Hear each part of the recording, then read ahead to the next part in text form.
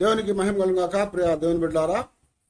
ఇదినా దేవుని యొక్క సన్నిధిలో శ్రమల కాలాల్లో నాలుగవ ఆదివారాన్ని మనం చేరాము. కనుక ముందుగా ప్రార్థన చేసుకొని దేవుని వాక్యము ఆలకిద్దాము. అందరు తళ ఉంచండి. కృపా సత్య సంపూర్ణమైన మా పరమ తండ్రి నీ పాదాలకు వందనాలు స్తోత్రాలు. నేను ప్రభా మా జీవితాల్లో నాయన నీ దగ్గరికి రావటానికి నీ పాదాల దగ్గర గడపటానికి నీ మాటలు మా హృదయాల్లో చేర్చుకోవడానికి మీరు ఇచ్చిన సమయంకై నీకే వందనాలు. ప్రభా నీ యొక్క కృప మాకు అనుగ్రహించమని బలపరచమని. నిరంతరం నాయన మేము నీ యొక్క స- సన్నిధిలో సంతోషంతో ఆనందంతో ముందుకు సాగటానికి నీ గొప్ప దీవెనలు మా మీద కుమరించమని అడుగుతున్నాం. నీలోనే మాకు రక్షణ నీలోనే మాకు నిరీక్షణ నీలోనే మాకు ఆశీర్వాదమును సెలవిచ్చావు కనుక వాటన్నిటిని ప్రభా మాకు అనుగ్రహించి నీతో జీవించే భాగ్యాన్ని మాకు దయచేసి ఈ దేవా ప్రతి ఒక్క హృదయానికి నీ వాక్కులు అందించి బలపరిచి మహిం ఏస్తున్నాను ప్రార్థన చేస్తున్నాం తండ్రి. ఆమె దేవునికి స్తోత్రం కలుగును కాక హల్లెలూయా. ఈరోజు మన జీవితాల్లో ప్రభువులో మనం సంతోషించాలని దేవుని వాక్యం ద్వారా దేవుడు మనకి జ్ఞాపకం చేస్తున్నాడు. దేవుడు సంతోషాన్ని ఆనందాన్ని ఇచ్చేవాడు. కాబట్టి ఎల్లప్పుడూ కూడా మనం ప్రభు ద్వారా సంతోషపరచబడాలి. ఆ సంతోషం అనేది ఆయనలో నుంచే మనం పొందగలుగుతామని దేవుని వాక్యము స్పష్టంగా మనకి జ్ఞాపకం చేస్తూ ఉంది. అయితే ఎవరు సంతోషంగా ఉండగలుగుతారు? ఎవరు ఆనందంగా ఉండగలుగుతారా అంటే ఎవరి హృదయం అయితే దేవునితో ఉంటుందో ఎవరైతే దేవుని యొక్క దగ్గరగా ఉండగలుగుతారో వారి జీవితాల్లో దేవుడు సంతోషాన్ని ఇచ్చేవాడని జ్ఞాపకం చేస్తున్నాడు. ప్రభువు పైరూపాన్ని కాదు కానీ అంతరంగాన్ని చూసేవాడని జ్ఞాపకం చేసుకోవాలి. దానికి అనేకమైనటువంటి లేఖనాలు మనకి బైబిల్ గ్రంథమందు రాయబడతా వచ్చినాయి మొదటి సమయాల గ్రంథములో పదహారో అధ్యాయమందు ఏడో వచ్చిన మందు దేవుడు ఈ మాటలు సెలవిస్తా ఉన్నాడు. అయితే ఎహోవా సమయాలతో ఇలాగ సెలవిచ్చను అతని రూపమును అతని ఎత్తును లక్ష్య పెట్టకుము. మనుష్యులు లక్ష్య పెట్టు వాటిని ఎహోవా లక్ష్య పెట్టడు. నేను అతన్ని త్రోసివేసి ఉన్నాను. మనుష్యులు పైరూపము లక్ష్య పెట్టుదురు గాని విభోవ హృదయమును లక్ష్య పెట్టును. హలలుయా దేవుడు ఇక్కడ ఒక సంఘటన మనకి జ్ఞాపకం చేస్తున్నాడు. మనుషులు ఏం చూస్తూ ఉంటారట? పై రూపాన్ని చూస్తారు కానీ దేవుడైతే అంతరంగాన్ని చూసేవాడు. సమయాల దగ్గరికి దేవుని వాక్ వచ్చింది. దేవుడు మాట్లాడుతున్నాడు. దేవుడు మాట్లాడుతూ సమయంతో మాట చెప్తా ఉన్నాడు. ఎవరి గురించి అయ్యా అంటే ఓ ప్రక్కన రాజైన సౌలు గురించి మాట్లాడుతున్నారు. మరో ప్రక్క యవనస్తులైనటువంటి దావీదు గురించి మాట్లాడుతూ ఉన్నాడు. దీన్ని జాగ్రత్తగా మనం గమనించినప్పుడు సమయాలు చాలా విచారంతో ఉన్నాడు. దుఃఖపడతా ఉన్నాడు. ఆయన దేవుని దగ్గర మొరపెడతా ఉన్నాడు. దేవుని దగ్గరకు వచ్చి దేవా క్షమించు అని దేవుణ్ణి ప్రతిలాడుకుంటా ఉన్నాడు. దేనికోసం అంటే రాజైన సౌలు చేసినటువంటి ఒక తప్పిదాన్ని బట్టి దేవుడు సౌలును తప్పించాడు. ఆ సౌలు చేసిన తప్పిదాన్ని బట్టి సౌలుని పక్కకి నెట్టివేశాడట. అయితే సౌలు ఇస్రాయల్ అందరిలో కంటే కూడా ఎత్తరని బహు సౌందర్యము గలవాడని ముందుగా లేఖనాల్లో రాయబడింది. ఆ సౌలు విషయంలో సమయాలు బాధపడతా ఉంటే దేవుడు సమయంతో మాట్లాడుతూ నీవు అతని రూపమును లక్ష్య పెట్టవద్దు. మనుషులు లక్ష్య పెట్టు దానిని హోవా లక్ష్య పెట్టడు అని చెప్తున్నాడు. ఇక్కడ దేవుడు అంతరంగాన్ని చూస్తున్నాడని చెప్తున్నాడు. ఎప్పుడైతే అంతరంగములో హృదయములో మనము దేవుని పక్షాన ఉండగలుగుతామో ఎప్పుడైతే దేవునితో మనం జీవించగలిగిన వారంగా ఉండగలుగుతామో అప్పుడే మన జీవితాల్లో దేవుడు మనల్ని లక్ష్య పెడతాడు. కాబట్టి సమయంలో బాధ అంతా ఏంటంటే సౌలు గురించి బాధపడ్డాడు. అందుకు దేవుడు చెప్తున్నాడు "ఇదిగో, నువ్వు ఎంతకాలం దుఃఖపడతావు? నువ్వు ఎంతకాలం అతని గురించి విచారం చేస్తావు? నేను అతనిని త్రోసివేసి ఉన్నాను కనుక నువ్వు లెగు అని చెప్పాడు. నువ్వు లేచి ఏం చేయమన్నాడంటే నీ యొక్క కొమ్మును తీసుకొని తైలంతో నింపుకొని బెత్లహేమేయుడైనటువంటి యష్యా యొద్దకు వెళ్ళు నువ్వు అని చెప్పాడు. కారణం ఏంటంటే నేను మరొకరిని ఎన్నుకున్నానని చెప్తున్నాడు అనమాట ఎందుకు దేవుడు మరొకరిని ఎన్నుకున్నాడయ్యా అంటే మనస్సులో ఆనందం అనేది పోగొట్టుకున్నాడు సౌలు. ఆ యొక్క ఆనందాన్ని కలిగిన వాడు మరొకడు ఉన్నాడని చెప్తున్నాడు. కాబట్టి నువ్వు యషియా ఇంటికి వెళ్ళి ఆ యషి ఇంటి దగ్గర నేను నీకు చూపించేవాడిని నువ్వు అభిషేకించు అని దేవుడు ఆ సమయాలకు చెప్పినప్పుడు వచ్చి ఆ యశి ఇంటిలో కూర్చొని నీ పిల్లలను పిలవమని చెప్పాడు. ఆ యశి తన పిల్లల్ని పిలుస్తా ఉంటే ఎత్తరగా ఉన్నవాళ్ళు బలంగా ఉన్నవాళ్ళు యుద్ధ నైపుణ్యం కలిగినటువంటి వారు ఆయన ఎదుటికి వస్తూ ఉన్నారు. వారిని చూసినప్పుడు ఆ సమయంలో యొక్క ఆనందం ఎలా ఉందంటే బహుశా ఇతడేమో దేవుడు ఎన్నుకున్నవాడు అనుకుంటున్నాడు. దేవుడు కాదు అని చెప్తున్నాడు. మళ్ళా ఇంకోడు వచ్చినప్పుడు ఇతడే అనుకుంటున్నాడు.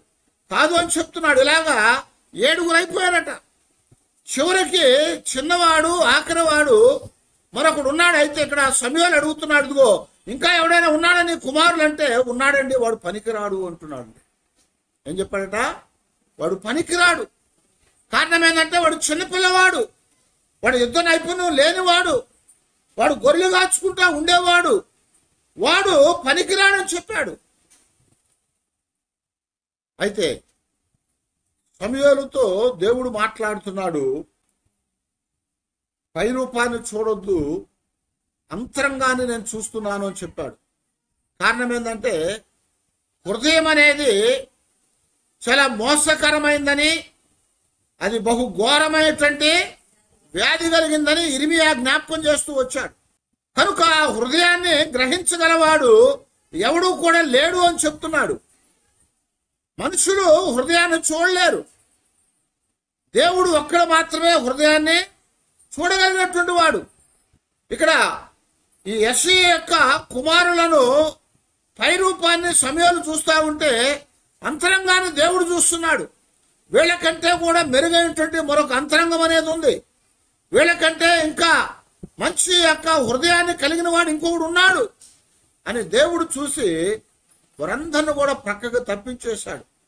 ప్రక్కకు తప్పించిన తర్వాత దేవుడు ఆ సమయంతో చెప్పినప్పుడు సమయాలు ఆ యశితో మాట్లాడుతూ అడుగుతున్నాడు ఎవరయ్యా అంటే వాడు ఉన్నాడయ్యా అని వాడిని పిలిపించాడట. ఆ గొర్రెలు కాచుకుంటా ఉన్నవాడు కడపటివాడు ఉన్నాడయ్యా అని ఆయన పిలిపించినప్పుడు అక్కడికి వచ్చినటువంటి ఆ చిన్నపిల్లవాడైనటువంటి ఎంత యవనస్తున్నటువంటి దావీదు దగ్గరకు వస్తూ ఉండంగా దేవుడు అంటున్నాడు కదా ఇదిగో ఇతడే నేను కోరుకున్నవాడు. హలలుయా దేవుడు నిన్ను గాని నన్ను గాని చూసినప్పుడు నేను కోరుకున్నవారు వీరే అని చెప్పగలగాలి. దేవుడు మన జీవితాల్లో మన హృదయాన్ని చూసేవాడు. కారణం ఏంటంటే సామెతలు అంటున్నాడు హృదయ అంతరంగములను ఎరిగినవాడు దేవుడు. ఆయన కట పాతాళము అగాధ కూపము తేటగా కనపడుతున్నాయి. నరుల హృదయం మరి తేటగా కనపడును కదా? మనుషుల హృదయాలు మన మానవుల యొక్క హృదయాలు మరి తేటగా కనపడతాయి అని జ్ఞాపకం చేశాడు. కాబట్టి దేవుడు మనల్ని ఇతడే నేను కోరుకున్నవాడు. ఈవే నేను కోరుకున్నదని చెప్పాలంటే మన హృదయాన్ని దేవుడు చూడగలగాలని చెప్తున్నాడు. దేవుడు మన హృదయాన్ని చూడాలంటే మనం ఏం చేయాలయ్యా అంటే మన హృదయాన్ని భద్రం చేసుకోవాలంటున్నాడు సామెత గ్రంథంలో నాలుగో అధ్యాయం ముందు ఇరవై మూడో వచనంలో జ్ఞానైనటువంటి సులోమాను మాట్లాడుతున్నాడు. నీ హృదయములో నుండి జీవధారులు బయలుదేరును. కాబట్టి అన్నిటికంటే ముఖ్యముగా నీ హృదయమును భద్రముగా కాపాడుకో అని చెప్తున్నాడు. ఏమన్నా అండి నీ హృదయములో నుంచే జీవ దారలు బయలుదేరుతాయి అని చెప్తున్నాడు. యేసుప్రభారు కూడా ఈ మాట చెప్పాడు యోహన్ స్వార్థ ఐదో అధ్యాయంలో. ఎవడైతే నా విశ్వాసం ఉంచుతాడో వాడి కడుపులో నుంచి జీవ జల దారలు ఉబుకుతాయి అని చెప్పాడు. వారి కడుపులో నుంచి జీవజల దారులు ఉబుకుతాయి ఇక్కడ సులోమను కూడా ఏమన్నా అంటే నీలో నుంచి జీవధారలు ఉబుకుతాయి అని చెప్తున్నాడు. కనుక ఆ హృదయాన్ని కాపాడుకోవాలి. ఆ హృదయం అనేది మనం భద్రం చేసుకోవాలి. రాజైన సౌలు తన హృదయాన్ని భద్రం చేసుకోలేకపోయాడు. ఎందుకయ్యా అంటే దేవుడు సౌలును తృణీకరించాడు వెంటనే దురాత్మతలోని ప్రవేశించింది. అతడు అప్పటి నుంచి కూడా మరి పిచ్చి పిచ్చిగా చేయడం ప్రారంభించాడు. ఆ యొక్క దురాత్మ వచ్చినప్పుడల్లా దావీదు దగ్గరికి వెళ్ళి ఏం చేసేవాడట? వీణ వాయించి దేవుని యొక్క ఆత్మ అతనితో ఉండేట్టుగా చేసేవాడు. దేవుని ఆత్మ రాగానే దురాత్మ పక్కకి వెళ్ళిపోయేది. దానిని బట్టి సంతోషించాడు మొదట్లో.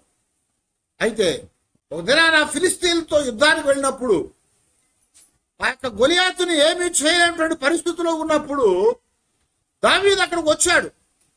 దావీద్ అక్కడికి వచ్చినప్పుడు ఆ దావీదును చూసి అక్కడ సౌలు అతన్ని యుద్ధానికి పంపించాడు.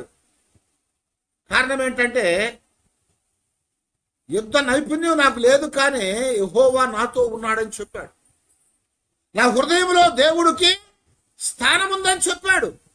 నా హృదయాన్ని దేవుడికి ఇచ్చానని చెప్పాడు. దేవుడు నాతో ఉన్నందున నేను గొర్రెలు కాచుకున్నప్పుడు ఆ గొర్రెల దగ్గరకు వచ్చిన తోడేళ్ళని చీల్చివేశాను. సింహాన్ని చీల్చివేస్తానని చెప్పినప్పుడు సౌలు దావీదును పంపించాడు.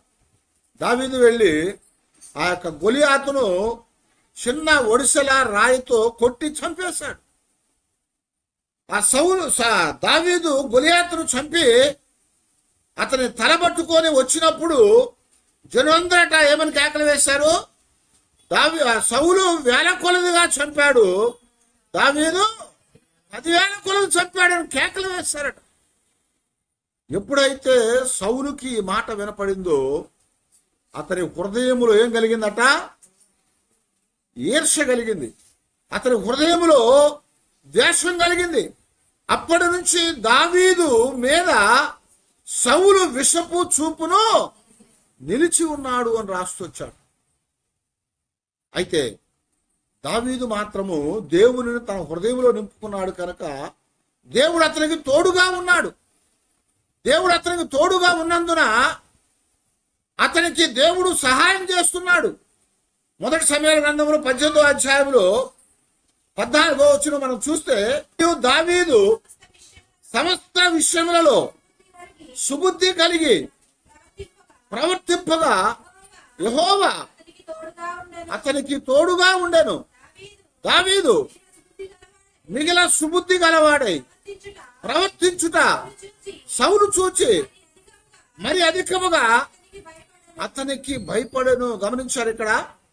ఎప్పుడైతే దేవునికి దగ్గరగా ఉన్నామో దేవుడు కోరుకునే వారుగా మనం ఉండగలుగుతామో మన హృదయాన్ని భద్రం చేసుకొని దేవునికి స్థానాన్ని ఇవ్వగలుగుతామో అప్పుడు మన జీవితాల్లో ఆనందం అనేది కలుగుతుంది.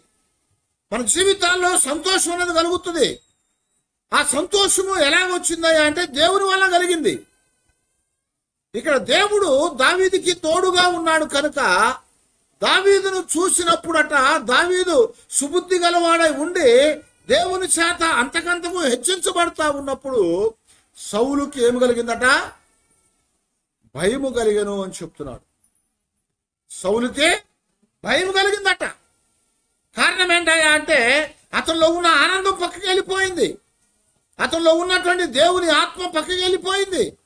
అతని హృదయం ఇప్పుడు దైవ సంబంధమైన వాటితో కాక లోక సంబంధమైనటువంటి సాతాను సంబంధమైన వాటితో నిండిపోయింది. అందుకే అతనిలో ఆనందం కోల్పోయాడు అతను. లోకంలో ఆనందం అనేది లేదు. దేవునిలో ఆనందం ఉందని చెప్తున్నాడు. ఆయనే నాకు సంతోషాన్ని ఇచ్చేవాడు దావిదంటా ఉన్నాడు నీ సన్నిధిలో నిత్యమైనటువంటి సుఖములు కలవు. నీ కుడి చేతిలో నిత్యమైన ఆనందం ఉంది నీ సన్నిధిలో ఆనంద ప్రవాహం ఉందని కీర్తనలో జ్ఞాపకం చేస్తున్నాడు. ఆయన దగ్గరకు వచ్చినప్పుడు మన హృదయాన్ని భద్రం చేసుకున్నప్పుడు దేవుడు మనతో ఉంటాడు. ఆయన మనల్ని కోరుకునేవాడుగా ఉంటాము. కనుక ఇక్కడ దావీదు సమయాల దగ్గరకు వచ్చినప్పుడు దేవుడు చెప్తున్నాడు ఇదిగో నేను కోరుకున్నవాడు ఇతడే. దేవుడు మనల్ని కోరుకున్నట్లయితే మన జీవితాల్లో నిత్యమైనటువంటి ఆనందంతో దేవుడు మనల్ని నింపుతాడని చెప్తున్నాడు. ఆ ముందుగా చూసినటువంటి అన్నదమ్ములు ఆ ఎత్తరులు బలమైన వారు యుద్ధ నైపుణ్యం కలిగిన వారు వారందరూ కూడా మరి సౌందర్యం కలిగినటువంటి వాళ్ళే. కానీ వాళ్ళకంటే కూడా దావీదు మరి చక్కటి వాడని ఇక్కడ వివరించబడతా వచ్చింది. పన్నెండో వచనంలో మనం చూస్తే మొదటి సమయాలు గ్రంథం పదహారో అధ్యాయం పన్నెండో వచనంలో అతడు వారిని పిలవనంపించి లోపలికి తోడుకొని లోపలికి తోడుకొని వచ్చాను. అతడు ఎర్రని వాడును చక్కని నేత్రములు కలవాడను చూచుటకు సుందరమైన వాడనై ఉండెను. అతడు రాగానే నేను నేను కోరుకున్నవాడు ఇతడే. హలలుయా ఏమనండి? నేను కోరుకున్నవాడు ఇతడే. దేవుడు మన హృదయాన్ని చూస్తున్నాడు కనుక మన జీవితాల్లో ఆనందాన్ని నింపేవాడు. ఎప్పుడైతే మన హృదయంలో దేవునికి స్థానాన్ని ఇవ్వగలుగుతామో అప్పుడు మనకి ఆనందం ఇస్తాడు దేవుడు. అప్పుడు మన జీవితాల్లో సంతోషాన్ని ఇస్తాడు. అప్పుడు దేవుడు కోరుకునేవాడుగా మనల్ని ఎంచుకుంటాడని చెప్తున్నాడు. అందుకొరకే దావీదుని ఏమన్నాడు దేవుడు? దేవ్ దావీదు నా యొక్క హృదయానుసారుడు. ఎంత గొప్ప మాట అండి దావీదు నా హృదయానుసారుడు అని జ్ఞాపకం చేశాడు. దేవుని యొక్క సన్నిధిలో దావీదు ఎన్నో తప్పిదాలు చేశాడు. కానీ దేవుడు నాకు హృదయానుసారుడు అని పిలుస్తూ ఉన్నాడు. కారణం ఏంటయ్యా అంటే ఎల్లప్పుడూ తన హృదయాన్ని దేవుని సంబంధమైన వాటితో నింపుకునేవాడు. అందుకే ఆయన అనేకమైన కీర్తనలు పాడాడు. అనేకమైన పాటలు పాడాడు. ఆయన యహోవా నా కోట నా శైలము నా దుర్గము నా ఆశ్రయము నా కేడము నా కొండ అని చెప్తా ఉన్నాడు. ఆయనే నాకు బలము. ఆయనే నా దాగు చోటు. ఇలాగా దేవుని మహింపరచడం వల్ల దేవుని యొక్క వాక్యం అతను హృదయంలో ఉండటం వల్ల దేవుడు ఏమంటున్నాడంటే ఇక్కడ దావీదు నా హృదయానుసారుడు అని జ్ఞాపకం చేస్తున్నాడు. కీర్తన గ్రంథంలో మనం గమనించినప్పుడు దావీదు చెప్తా ఉంటాడు నూట పంతొమ్మిదో కీర్తనలో తొమ్మిదో వచ్చులో పదకొండో వచ్చులో మనం చూస్తే ఈ వాక్యమును బట్టి దాన్ని జాగ్రత్తగా చూచుకున్న చేత ఆ నడతలను శుభ్రం చేసుకుంటామని చెప్తున్నాడు. నీ పూర్ణ హృదయముతో నిన్ను వెతికి ఉన్నాము. నన్ను నీ ఆజ్ఞను విడిచి తిరుగా నీయకుము అని జ్ఞాపకం చేస్తున్నానండి దేవుని యొక్క సన్నిధిలో దావీదు ఏం చేశాడట పూర్ణ హృదయముతో దేవుణ్ణి వెతికాడు వెంబడించాడు. అందువలన దేవుని యొక్క ఆజ్ఞలు అతను హృదయంలో నింపబడ్డాయి. అతడు దేవుని ఆజ్ఞలను విడిచి తిరిగిన వాడు కాకుండా ఉన్నాడని జ్ఞాపకం చేస్తున్నాడు. దేవుడు ఆనందాన్ని ఇచ్చేవాడు సంతోషాన్ని ఇచ్చేవాడు. ఈ యొక్క ఆనంద సంతోషాల్ని మనం పొందాలంటే దేవుని యొక్క సన్నిధులు ఆయన వాక్యము చేత ఆయన సన్నిధి చేత మన హృదయాలను మనం నింపుకునే వారంగా ఉండాలి. అవి నింపుకున్నప్పుడే ఆనందం కలుగుద్ది. ఎప్పుడైతే దేవుని దగ్గరికి రాగలుగుతామో ఎప్పుడైతే దేవునికి అప్పగించుకోగలుగుతామో అప్పుడు దేవుడు మన జీవితాల్లో తిరిగి సంతోషాన్ని ఇచ్చేవాడుగా ఉంటాడని దేవుడు జ్ఞాపకం చేస్తున్నాడు. ఈరోజు మనం గమనిస్తా ఉన్నట్లయితే యేసుప్రభు వారు కూడా ఒక ఉపమానాన్ని చెప్పాడు. ఆ ఉపమానం లోకాసు వార్త పదిహేను అధ్యాయంలో మనకి జ్ఞాపకం చేయబడతా ఉంది. అక్కడ మూడు ఉపమానాలు జ్ఞాపకం చేశాడు. ఒకటేమో తప్పిపోయినటువంటి నాణ్యము. మరొకటి తప్పిపోయిన గొర్రె. మరొకటి తప్పిపోయిన కుమారుడు. ఈ మూడు మూడు ఉపమానాల గురించి ప్రభు అక్కడ జ్ఞాపకం చేస్తూ వాళ్ళ జీవితాల్లో ఆనందాన్ని నింపాడు. ఎప్పుడు నింపాడట? ఆ తప్పిపోయినటువంటి నాణ్యము దొరికే వరకు వారు వెతికారు. అది దొరికినప్పుడు వాళ్ళకి సంతోషం కలిగింది. ఆ తప్పిపోయిన గొర్రె వెతికాడు. అది దొరికినప్పుడు సంతోషంతో దానిని భుజాన వేసుకొని తిరిగి వచ్చాడు. ఆ తర్వాత మూడవది ఏంటంటే తప్పిపోయినటువంటి కుమారుడు గురించి జ్ఞాపకం చేశాడు. ఈ తప్పిపోయిన కుమారుడు గురించి జ్ఞాపకం చేసినప్పుడు దేవుని వాక్యంలో మనకు రాయబడతా ఉంటుంది. ఈ కథ అంతా మనకు తెలిసిందే.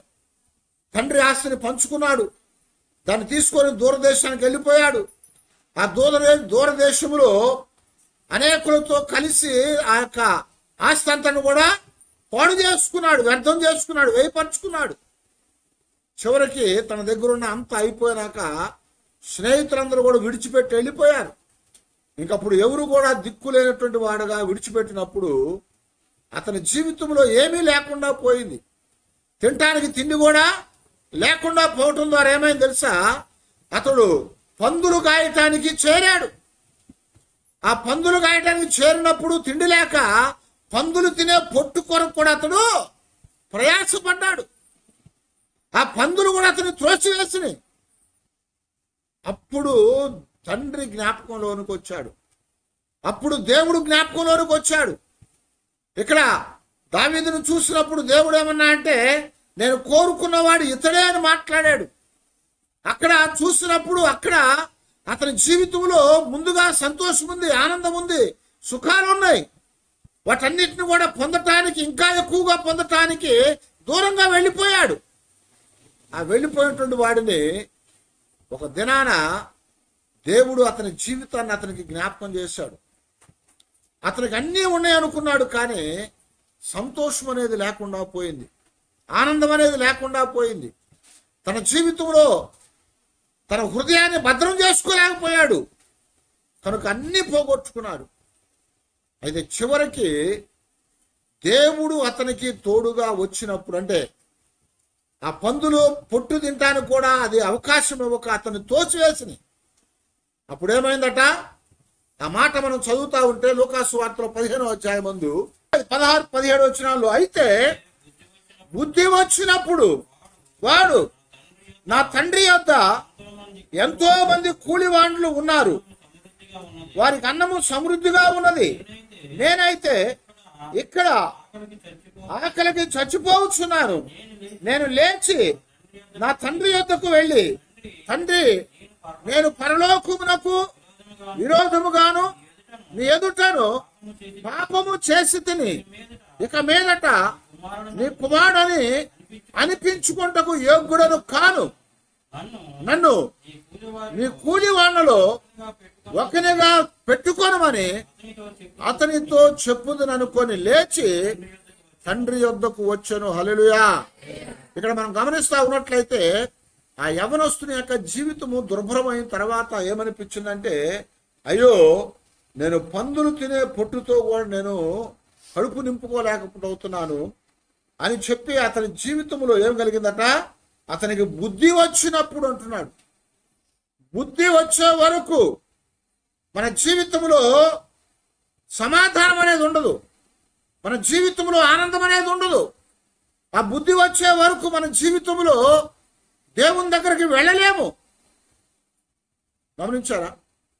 అయితే ఇక్కడ యవనస్తుడు అతనికి బుద్ధి వచ్చినప్పుడు వాడు నా తండ్రి వద్ద ఎంతో మంది కూలి వాళ్ళు ఉన్నారు వాళ్ళకి సమృద్ధి అయిన అన్నము దొరుకుతా ఉంది. అయితే నేను ఇక్కడ ఆకలితో చచ్చిపోతున్నాను. గనుక నేను లేచి నా తండ్రి వద్దకు వెళ్ళి ఏం చెప్పాలనుకున్నాట తండ్రి నేను పరలోకమునకు విరోధముగాను నీ ఎదుట పాపము చేశాను. పరలోకానికి విరోధముగా. నీ ఎదుట పాపం చేశానని చెప్పి ఆ తండ్రితో చెప్పుకోవాలనుకున్నాడు. కారణం ఏంటయ్యా అంటే ఆ యవనస్తుని యొక్క హృదయంలో ఇప్పుడు బుద్ధి కలిగింది. అతని జీవితంలో ఇప్పుడు మార్పు కలిగింది. అంతకుముందంత బుద్ధి లేదా? బుద్ధి లేకపోవటం వల్ల ఏం చేశాడట దేవుని యొక్క నియమానికి విరోధంగా తండ్రి యొక్క ప్రేమకు విరోధంగా తను సంపాదించుకుపోయినా కానీ తండ్రి సంపాదించిన దానిలో నువ్వు కన్నావు కనుక నాకు ఆస్తి హక్కు ఉందని చెప్పి ఆ ఆస్తిని పంచుకొని వెళ్ళిపోయాడు. అది పంచుకొని వెళ్ళిపోయి తను లోకంలో పడి అనేక రీతులుగా అతడు జీవించిన దానిని బట్టి సమస్తాన్ని కూడా పోగొట్టుకొని ఇప్పుడు ఏమైందంట? అతనికి బుద్ధి పోయింది. ఆ బుద్ధి పోయిన తర్వాత ఏమైంది? ఆస్తి పోయింది. ఆస్తి పోయిన తర్వాత ఏమైంది? చివరికి ఏమి కూడా లేనటువంటి పరిస్థితిలోనికి వచ్చేసాడు. కారణం ఏంటంటే తన హృదయాన్ని కాచుకోలేకపోయాడు. ఆ హృదయం అనేది కాచుకోవాలని చెప్పాడు సొలోబాన్ ఆ హృదయం కాచుకోకపోవటం వల్ల తన జీవితంలో ఇక్కట్లు కలిగినాయి. తన జీవితంలో అనేకమైన బాధలకి గురైపోయాడు. సవులు కూడా ఆ దినాన ఏమయ్యాడు? తన హృదయాన్ని కాచుకోలేకపోయాడు. ఎందుకంటే దేవుడు అమాలేకీల మీద యుద్ధానికి పంపించినప్పుడు ఏం చెప్పాడంటే నీవు అక్కడికి వెళ్ళిన తర్వాత జీవముతో ఉన్న సమస్తాన్ని కూడా నీ కత్తివాతకి గురి చేయమని చెప్పేశాడు. ప్రాణం ఉన్న ప్రతిదాన్ని కూడా చంపేయమని చెప్పాడు. అయితే అక్కడికి వెళ్ళినాక ఏమైంది తెలుసా? తన హృదయాన్ని కాచుకోలేకపోయాడు. తన హృదయంలో దేవుని మాటని జ్ఞాపకం చేసుకోలేకపోయాడు. తన జీవితంలో దేవుడు ఇచ్చినటువంటి ఆ విజయాన్ని తను తనదిగా అనుకున్నాడు. అందువల్ల ఏమైందంటే బాగా బలిసినటువంటి ఆ మేకలను గొర్రెలను తీసుకొని పనికిరాని వాటిని చంపేసి వెనక్కి తిరిగి వచ్చినప్పుడు దేవుడు సమయంతో చెప్తున్నాడు "ఇదిగో నువ్వు వెళ్ళి చూడు ఇప్పుడు. సౌలు ఏం చేశాడు? నీకు కనపడుతుందా? అని సమయంలో అడుగుతున్నాడు ఏంటి ప్రభు? అంటే నువ్వు వెళ్ళి చూడంటే అక్కడ గొర్రె మేకల మందలు శబ్దాలు వినపడుతున్నాయట అరుపులు వినపడుతున్నాయట. అవి చూసినప్పుడు నువ్వేంటి చేసావంటే నేను ఇవి దేవునికి బలి ఇవ్వటానికి వచ్చానంటే దేవుడు చెప్పాడు అతనిని నేను తృణీకరించేశాను గనక మరొకడు కొరకు నేను నిన్ను పంపించబోతున్నాను నీ తైలాన్ని. ఆ బుడ్డిలో నింపుకోమని చెప్పాడు. నీ కొమ్ము తైలంతో నింపి సిద్ధంగా ఉండని చెప్పాడు. అయితే సమయంలో ఏడుస్తా ఉన్నాడు దుఃఖపడతా ఉన్నాడు. అయ్యా నువ్వు క్షమించు ప్రభా. అయ్యా నువ్వు ఒకసారి జ్ఞాపకం చేసుకుని ఆయన అంటే నేను తృణీకరించాను కనుక మరొకరిని నేను ఏర్పాటు చేసుకున్నాను కనుక నీవు వెళ్ళు అని చెప్తా ఉన్నాడు. ఇక్కడ ఆ యవనస్తుని యొక్క జీవితంలో అతడు తృణీకరించబడ్డాడు. తనకు తానుగా తృణీకరించుకున్నాడు. సమస్తాన్ని పోగొట్టుకొని ఆనందం అనేది సంతోషం అనేది తన జీవితంలో లేకుండా భయంకరమైనటువంటి దుర్భరమైన స్థితిలోనికి వెళ్ళిపోయాడు. అయితే ఇక్కడ ఆ తండ్రికి ఆనందం లేకుండా పోయింది. ఆ తండ్రికి సంతోషం లేకుండా పోయింది. ఆ తండ్రి ఏం చేస్తున్నాడట? రోజు బయటకు వచ్చి ఆ కుమారుడు వస్తాడేమని ఎదురు చూస్తూ ఉన్నాడట. రోజు బయటకు వచ్చి కుమారుడు కోసము చూస్తున్నాడట. అయితే అతనికి బుద్ధి వచ్చినప్పుడు లేచి తండ్రితో ఇలాగ చెప్పాలనుకుంటున్నాడు. ఏమని చెప్పాలనుకున్నాడంటే నేను పరలోకానికి విరోధముగాను నీ ఎదుట పాపము చేశాను అని చెప్పుకోవాలనుకున్నాను ఆ మనస్సులోనికి ఆ యొక్క పశ్చాత్తాపం వచ్చినప్పుడు మన జీవితాల్లో దేవుని యొక్క సంతోషం నింపబడుతుంది. పశ్చాత్తం రాకపోతే ఆ పశ్చాత్తాపం అనేది మన హృదయాల్లోకి ఉన్నంత లేనప్పుడు మనము ఇష్టానుసారంగా ఉండగలుగుతాం. అయితే ఆ పశ్చాత్తాపం అనేది మనసులోనికి వచ్చినప్పుడు మన జీవితాల్లో రక్షణ కలిగించబడుతుంది. అందుకనే పౌరు గారు అంటాడు బాహ్య సంబంధమైనటువంటి దుఃఖము పశ్చాత్తాపాన్ని కలిగించదు. హృదయ సంబంధమైనటువంటి ఆ దుఃఖమట పశ్చాత్తాపాన్ని కలిగించుద్ది. ఆ పశ్చాత్తాపము రక్షణకు మార్గం చేస్తుందని చెప్పాడు. మనకి ఇప్పుడు యవనస్తుని యొక్క జీవితంలో ఏం చేయబడిందంటే పశ్చాత్తాపం కలిగింది. అతడు పరలోకానికి విరోధముగా తండ్రికి ఎదుట పాపం చేశానని తన మనస్సులో తండ్రి దగ్గరికి వెళ్ళి చెప్పాలనుకున్నాడు. తండ్రి దగ్గరికి రాలా. తన మనస్సులో అనుకున్నాడు. బుద్ధి వచ్చినప్పుడు నేను తండ్రి దగ్గరికి వెళ్ళి ఇలాగ చెప్పాలనుకున్నాడు. అప్పుడే దేవుడు అతన్ని చూశాడు.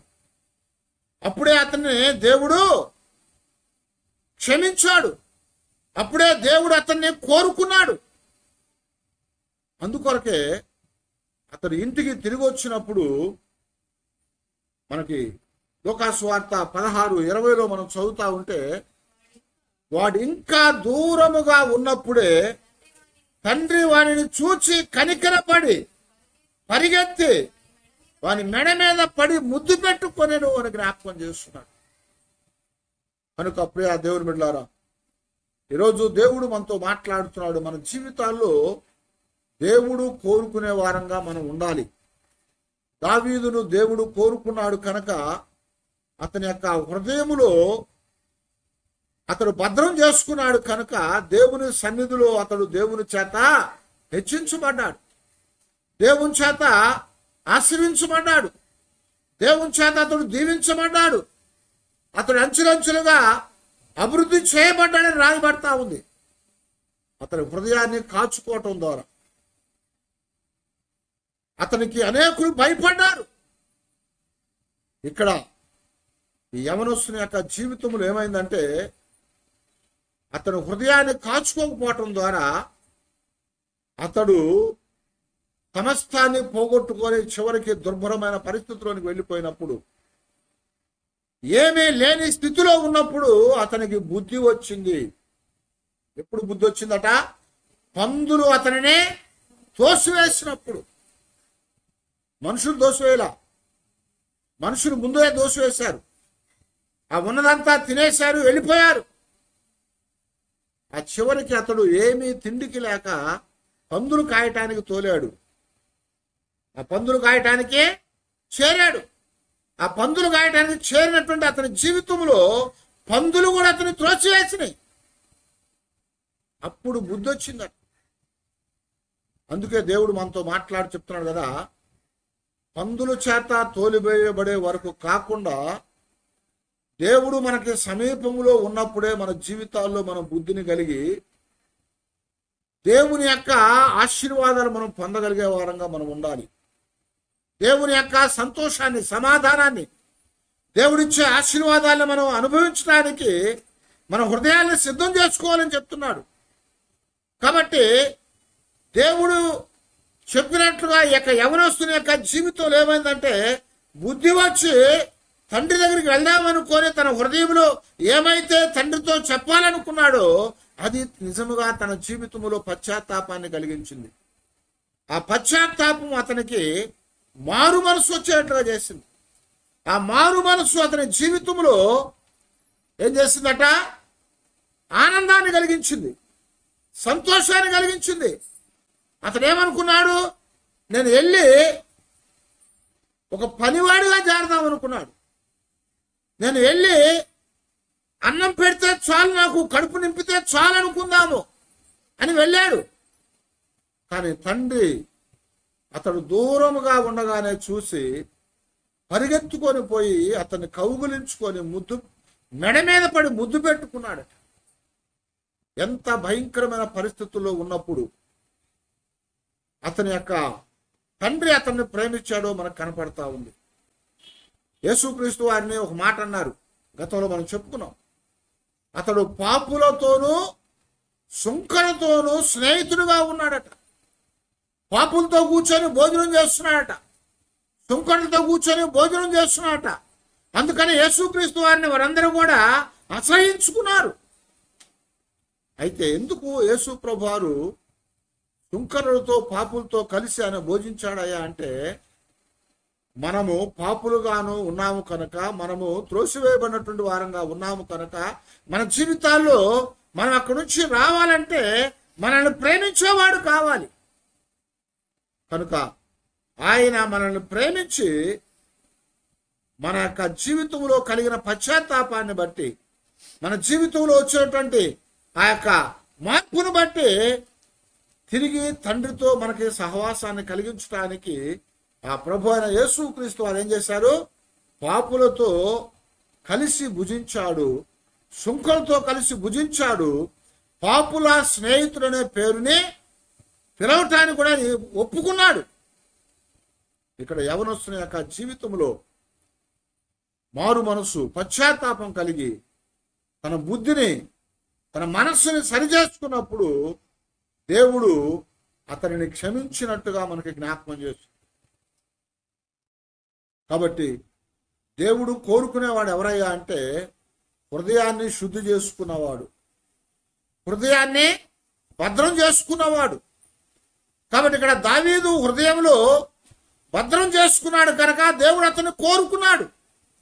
ఇక్కడ పాడైపోయినప్పటికీ కూడా తన హృదయాన్ని శుద్ధి చేసుకోవడానికి అతను ఇష్టపడ్డాడు కనుక దేవుడు అతన్ని కోరుకున్నాడని చెప్తున్నాడు. అందుకనే యేసుప్రభు వారు మరి ఆ కొండ మీద చేస్తున్న ప్రసంగం ఏమన్నాడు? హృదయ శుద్ధి గలవారు ధన్యులు వారు. దేవుని చూచెదరు. దావీదు దేవుణ్ణి చూడగలిగాడు. ఇక్కడ పాడైపోయినటువంటి యవనస్తుడు దేవుణ్ణి చూడగలిగాడు. దేవుణ్ణి చూడాలంటే బాహ్య నేత్రాలు పనికిరావు.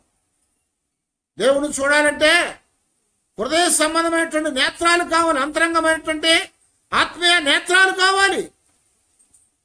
ఆ హృదయాన్ని శుభ్రం చేసుకోవటం ద్వారా దేవుడిని చూడగలిగే స్థితి ఈ యవనస్తుని జీవితంలో వచ్చింది కనుక దేవుడు అతన్ని క్షమించాడు. తండ్రి అతన్ని క్షమించాడు. అతడు భోజనం పెట్టి పనివాడుగా ఉంచుకుంటే చాలు అనుకున్నాడు కానీ తిరిగి వచ్చిన తర్వాత ఏం చేశాడు అందుకే అతనికి తిరిగి ప్రశస్తమైన వస్త్రాలు ఇచ్చాడు. ఉంగరాన్ని పెట్టాడు. పాదాలకి చెప్పులనిచ్చి అతన్ని గణపరిచి తిరిగి మరలా కుమారుడుగా చేసుకున్నాడు. అదే దేవుని యొక్క ప్రేమ.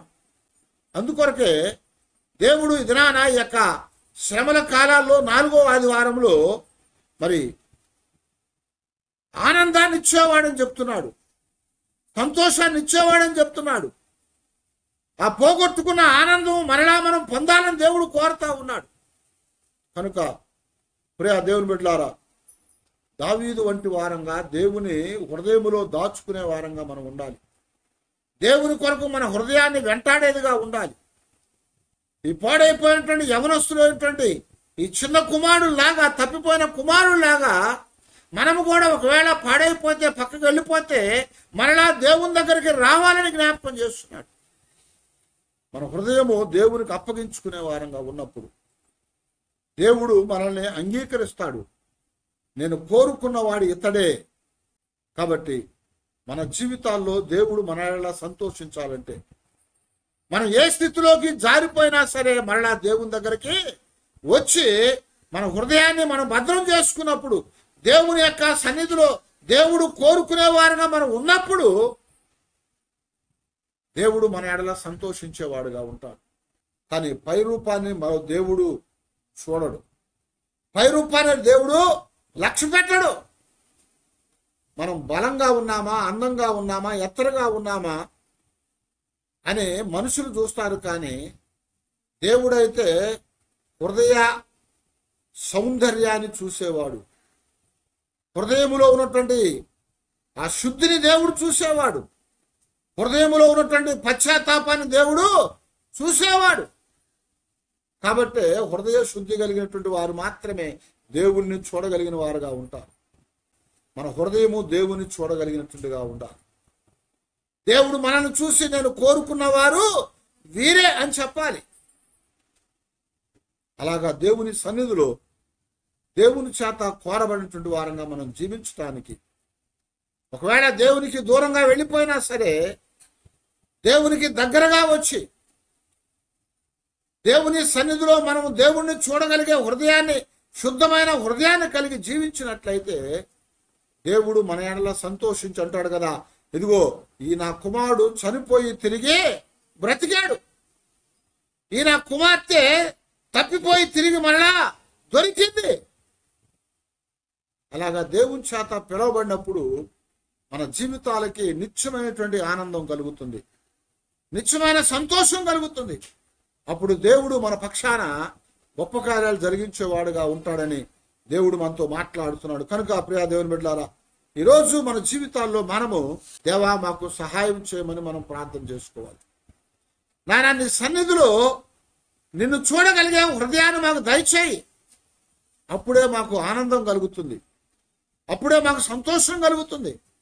అప్పుడే మేము నీలో బహుగా సంతోషించగలిగిన వారంగా ఉంటామని మన జీవితాల్లో మనం ప్రభువుతో చెప్పుకోవాలి.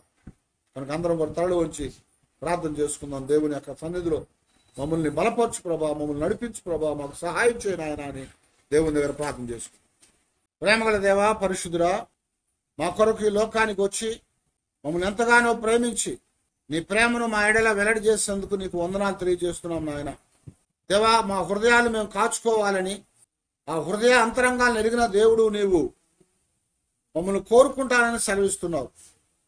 ఎవరైతే నీ యొక్క సన్నిధిలో ప్రభా హృదయాలను భద్రపరుచుకొని నీ వాక్కుల చేత హృదయాలను నింపుకోగలుగుతారో వారిని మీరు ప్రేమించి వారిని కోరుకొని వారి యందు నేను సంతోషిస్తానని మీరు సెలవిచ్చారు.